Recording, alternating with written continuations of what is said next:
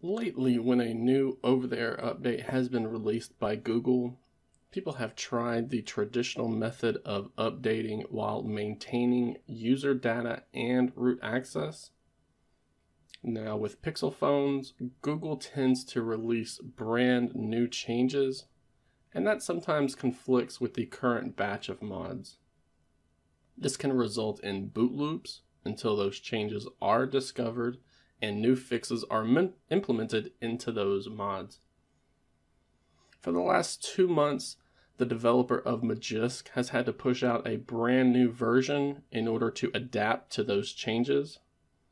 These changes most first go out to people who are testing the Canary version of the app before they then roll out to the beta channel and the developer has to wait a few days each time one of these changes gets put into the Canary or beta build so that they can collect any bug, bug reports that may come in from early testing.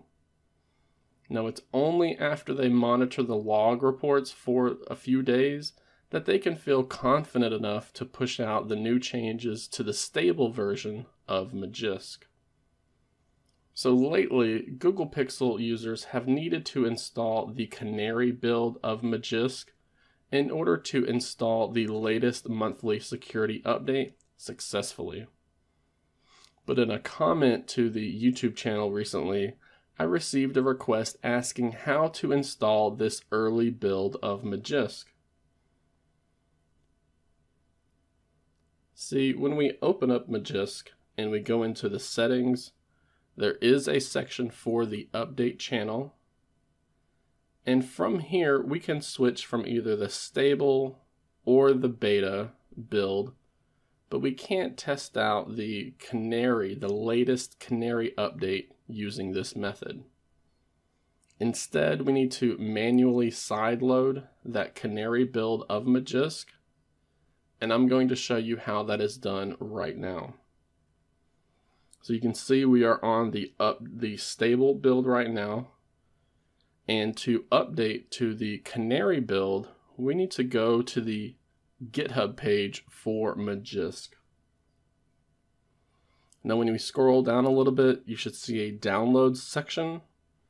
And right here in red is the Canary button. So we're going to tap the Canary button and then it's going to ask us if we want to download this file. Now I have already downloaded it previously, but I'm going to download it again just to show you the whole process. And once that update has been, or once that APK has been downloaded, we can tap it to install. You may get asked if you want to open that APK with a package installer. We want to do that so we can sideload and update that APK which will bring us to this update prompt. And we can just tap the update button and install the application update just like normal. So now whenever you open up Magisk, you're going to see an update prompt right here telling you that you need to install the latest updates. So you're going to tap that update button and let the Magisk application update your Magisk binaries to the Canary version. And you're not seeing that here because I have previously installed that Canary build so I could update my Google Pixel 6. But that is how we get the Canary version of Magisk installed on our device. Whether you have the stable or beta builds installed already, or maybe you're installing Magisk for the first time, we can do that by simply going to the Magisk GitHub page, the official GitHub page, and I'll be linking to this in the video description below. And we just need to download and install the Canary version like we normally would.